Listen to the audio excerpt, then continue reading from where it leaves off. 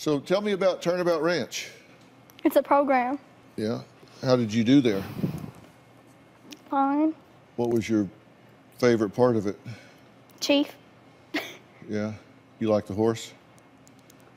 Shane, how'd you think she did? I thought she did very well.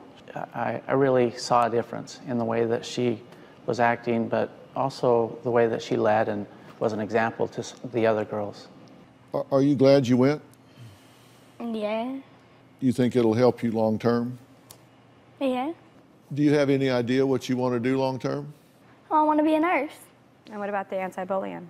Explain to him what were people contacting you on Instagram? What I'm were they being saying to you? bullied. Um, how do you how do you have that voice? How do you the way you said that all this stuff to Dr. Phil? How how you did all that stuff?